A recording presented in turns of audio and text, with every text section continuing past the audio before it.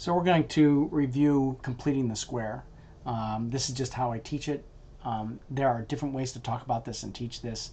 If you remember what your high school teacher did and you're good with completing the square, then just do it that way. You don't have to do it the way that I do it.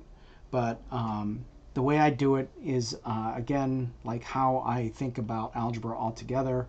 I think of the choices that we make to uh, to do things or to manipulate the equation, not as the opposite, do the opposite operation, blah, blah, blah. I think of it as what is my goal? What am I trying to achieve? And then make a decision on what mathematics I want to do based on that goal.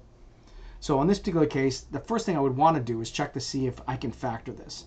What we'll find is you can in fact factor this, but um, the instructions for the problem this is associated with and the skill that you probably need to practice is completing the square. So let's take a look at that and we'll get um, integer values because it is factorable, um, but we'll figure that out as we go.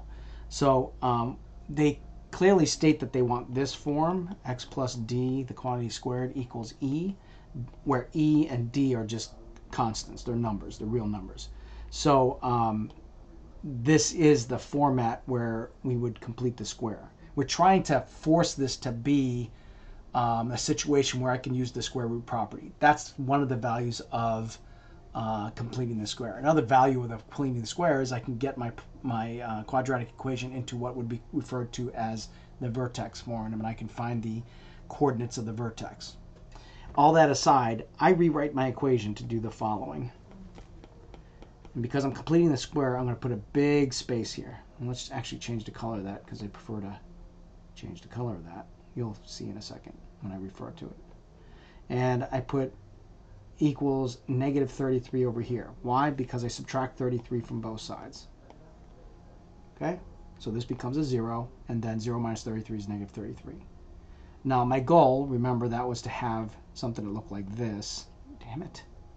Um, x plus d, or x minus d, squared equals e. So I want, in the end, for my structure to be a binomial, x plus or minus some number, squared equals some constant, some number. Okay?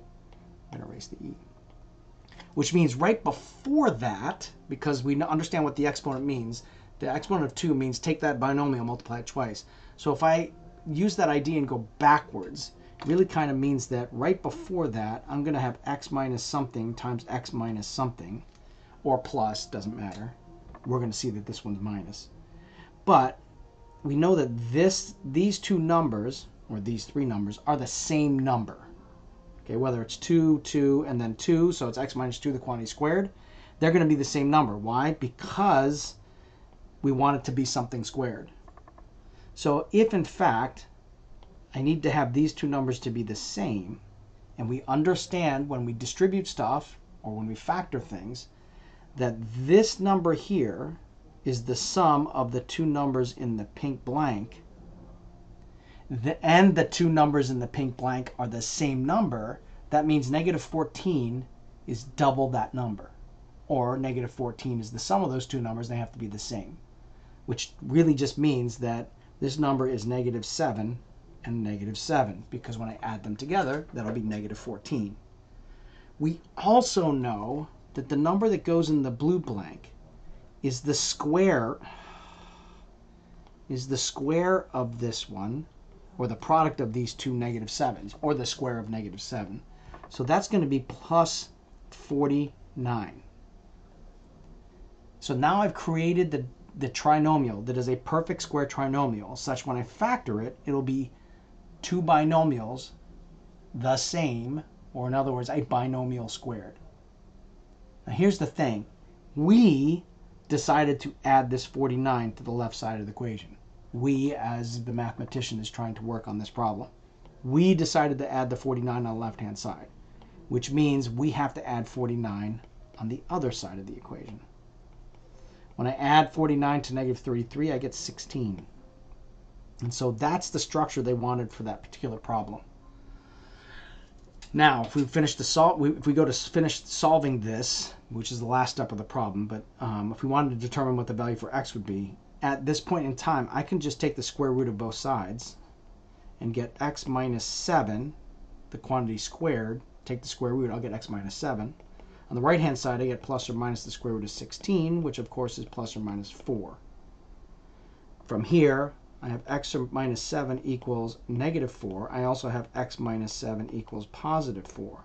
I can add 7 to both sides of each of these equations, and I'll get x equals, the top one is 3, and the bottom one is 11.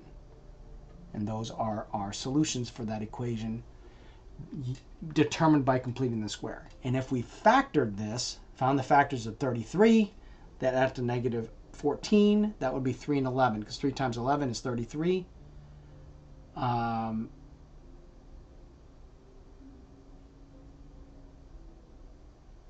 yeah. Yeah, yeah, 3 and 11, because we would get uh, negative 3 and negative 11 as the values in our binomials. We would get this x minus 3 and x minus 11. But once we set x minus 3 equal to 0 and x minus 11 separately equal to 0, I would get x equals 3 and x equals 11. Okay? Where's my mouse?